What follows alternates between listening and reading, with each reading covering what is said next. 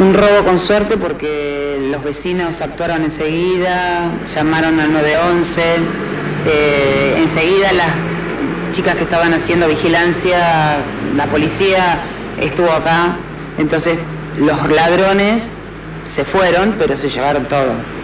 ¿A Se cuántas llevaron- cuadras lo detuvieron de acá? No tengo idea bien la, la no alcanzaron a huir. Alcanzaron a huir y ellas por- eh, llamaron y dieron el mensaje para hacia dónde habían salido. ¿Cuánto habían cargado en la camioneta?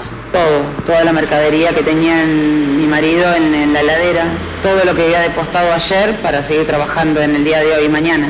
¿En dinero, en valor, supera cuánto? No, entre 40, 30. Este, y además, este, bueno, después cuando pudieron, eh, lo, lo- lo apresaron, eh, apresaron a uno, nada más.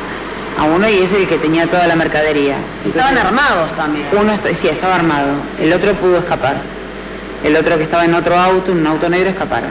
La vereda es angosta, pero imaginarse, ¿no? Que abren, abren la puerta y van y vienen llevando la carne. Sí, eh, aparte tiraron todo, ensuciaron todo, destrozaron todo adentro, arrancaron una luz de emergencia, eh, no se pudieron llevar la balanza porque los- la policía estaba acá, entonces hubo cosas que no se pudieron llevar.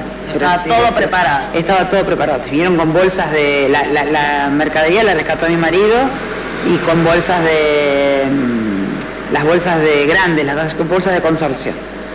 Así que con bolsas de consorcio ya venían preparados para ir poniendo toda la, la carne y llevársela. Digo, muy atento el vecino, pero también bastante lógico, ¿no? A las 4 de la mañana. Sintió una explosión. Él se levantó a, a La puerta. poner unas perritas y eh, sintió una explosión. Y entonces mira por la ventana y ve un auto negro enfrente, pero que un hombre todo vestido de blanco se mete en el auto. O sea, si suponemos que tiene que ser alguien que está vestido de carnicero o matarife como para vender en otro lado esto que roba.